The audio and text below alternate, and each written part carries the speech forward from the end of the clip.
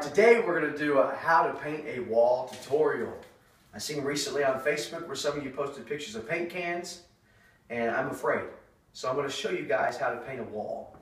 Alright, first things first, you want to make sure you sweep the area. This is a reno or uh, renovation or a reconstruction and so it doesn't matter if we get paint on the floor because we haven't gotten there yet. But if you do hit the roller on the floor, you don't want to have too much dust and dirt on the roller rolling back into the, the wall. Also, we've swept the wall and cleaned the wall off so there's not any debris. Um, this has not been primed, but it is painted. It's painted with a semi-gloss white, and we're going to paint over it with another semi-gloss. And I always suggest, um, I actually eggshells what I suggest because it's not real reflective, but you can also clean it better than satin or flat. So all right, first things first, we've got our pan.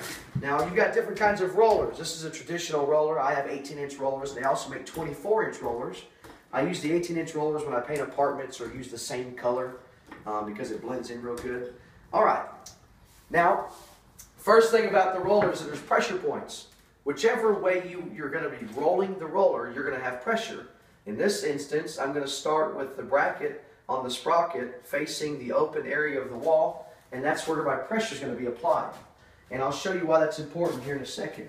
But I'm going to start in the corner here, and I'm going to roll up. What I'm doing is I've got a fresh roller full of paint, and I'm rolling up, so that way, well, two reasons really.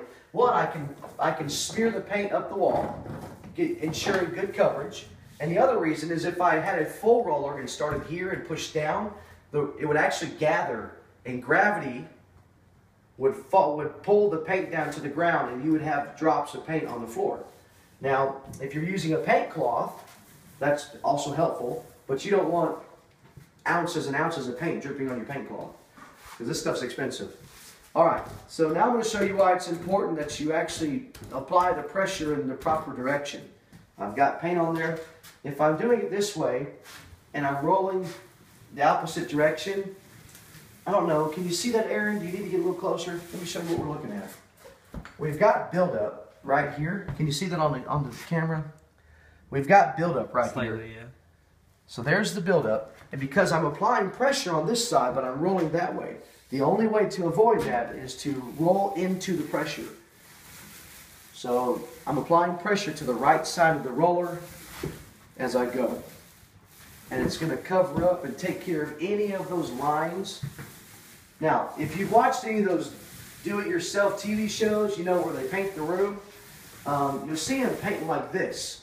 All kinds of crazy ways, all kinds of crazy, then they come back and do it. Well, that does ensure coverage, but it wastes a lot of paint because you wind up going over the same spot more times than necessary.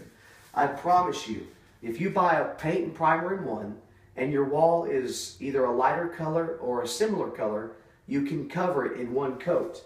The only thing you might have to do is to go back with a little bit of touch up on some spots that are just a little bit white or maybe your paint didn't quite get into the cracks, especially on a textured wall like this. So I always start at the bottom with a roller full of paint. I roll the paint up. I do go back a little bit, overlap what I did previously, and that just ensures coverage. Now, how do I do the top half? Well, that's easy. I fill the roller up again, and this time I start on the top half. Now, you want to get as close as you can to the ceiling, but you don't want to touch the ceiling. I usually go until I can't see the until I can't see the corner.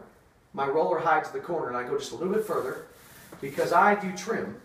All right, you cut in or trim out or cut in the wall. I don't use tape. It's a waste of time to put tape on the ceiling.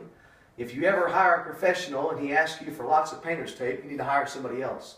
But instead, you'll just take your brush and you can cut in the corners.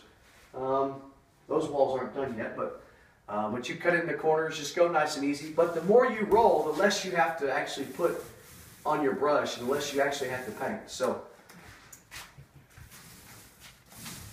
all right. Notice how I flip my roller over and I'm going the opposite direction, but I'm also applying pressure in that direction. Questions, comments? This is Josh Randol with Under One Roof Construction and Property Maintenance.